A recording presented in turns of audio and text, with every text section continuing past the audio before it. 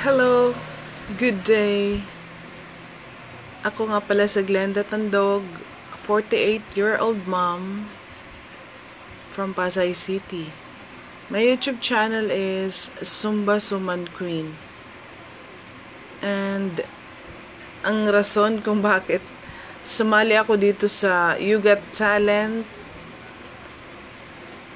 um, it's just because I want to share my talent and I want to inspire all the mommies out there like me at this age.